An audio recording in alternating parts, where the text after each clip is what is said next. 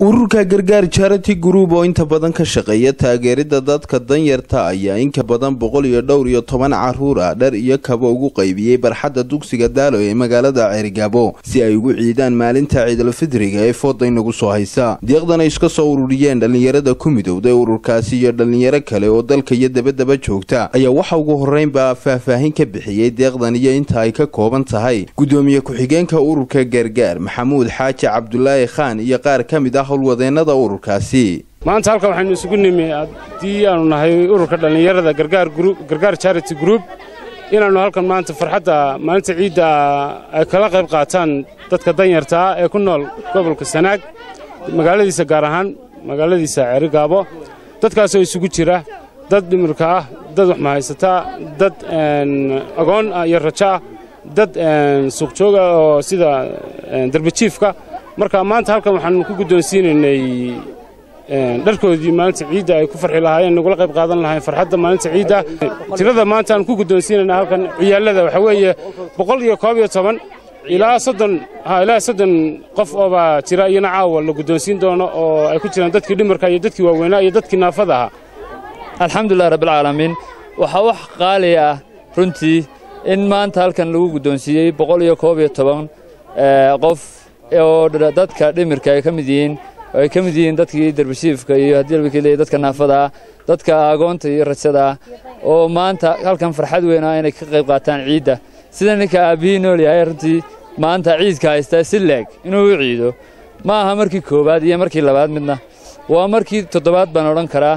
Waxa weeyaan dhallinyaradan gargaar charity group dal iyo debadba dadkii ku darsaday iyo dadka gruubka ka mida. Runtii waa wax isku xidhan waa markii koowaad maaha.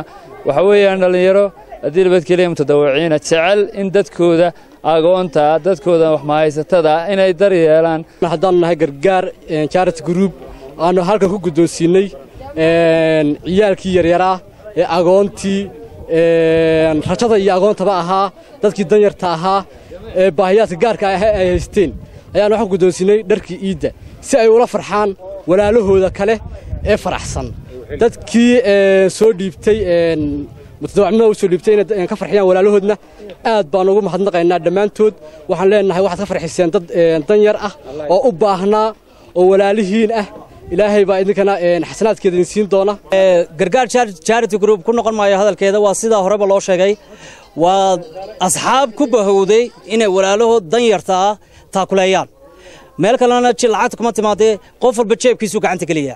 Taas waa taa waxaan u mahadnaqayaa dhallinyaradii rag iyo namabaal lahaa ee qurbajoog lahaa ee qoqoljoog lahaa dhammaantood waxaan ugu mahadnaqayaa hadafkeennu lahayn inay maanta inoo hirgashay taas waa taa waxaanuna u ballanqaadinaa danyarta.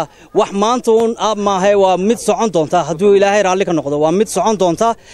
Waxaanu ku dadaalaynaa abid intaanu maxay awoodno. Ilaahayna hanala garab galo inay socon doonto. Qaar ka mid a waalidiintii carruurtaasi deeqdooda ka faydaysatay ayaa halkaasi uga mahad celiyey ururka gargaar charity group. Gargaar carruurta noocid ilaahay khayr ha siiyo ilaahay khayr ha siiyo ilaahay dembigooda ha dhaafo walaa u rajaynaynaa walaalaha iyaga wacanay wanaagsan ee carruurta noocid siiyey ciidka rabadaan maasha allah in ilaahay khayr u dhaafiyo baan u rajaynaynaa. Ururka gargaarka carruurta noocid siiye waa u mahad celinaynaa ururka gargaar ee nocisay aad iyo aad baan noogu mahadnaqaynaa iyaga iyo intii ka soo shaqeeyay deeqdan uu bixiyey ururka gargaar charity group ayaa noqonaysa deeqdii toddobaad uu gaadhsiiyo danyarta magaalada ceergaabo cabdiraxmaan axmed